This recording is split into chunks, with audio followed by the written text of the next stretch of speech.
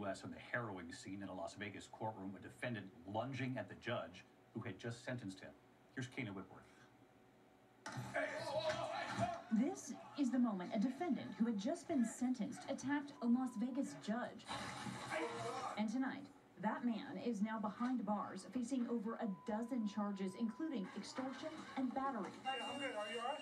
I just smashed my head into the wall. Deobra Redden appearing in court Wednesday, a repeat offender. He had pled guilty to attempted battery with substantial bodily harm. The 30 year old telling Judge Mary Kay Holthus he didn't think he deserved another trip to prison. I feel that like I shouldn't be like sent to prison for a second time. The judge reminding Redden of his lengthy criminal record. Three felonies, a gross, nine misdemeanors, multiple DVs.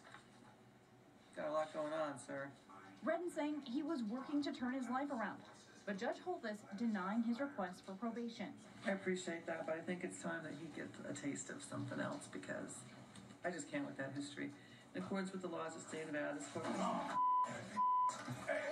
Redden then leaping over the bench, landing on top of the judge and brawling with court officers and attorneys. Minutes later, Judge Holthus standing up. She's shaken up, as most people would be. A couple of bruises, but I'm very, very happy that she's okay. And David, a court marshal was also injured in that attack. Redden refusing to show up to court today to face these additional charges. He has another hearing set for next week. David. Kayna Whitworth, we're just glad she's okay tonight. Kayna, thank you.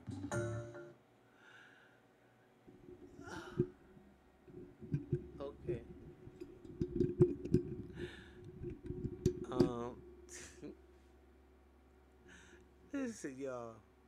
I just can't. I can't. I can't.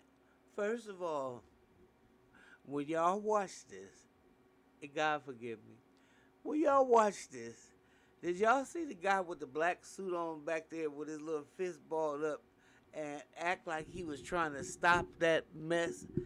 But really, his little punches look like uh, a one year old. You know how a little baby hit?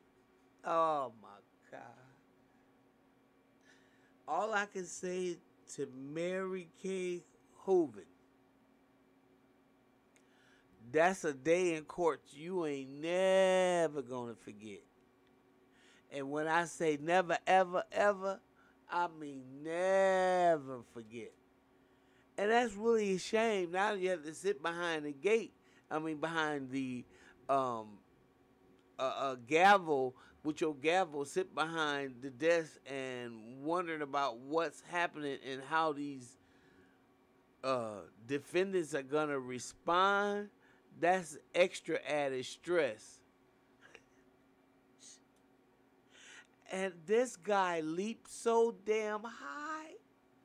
He should have been a football player. He missed his calling instead of beating up people. I mean, my God, instead of beating up women, look like.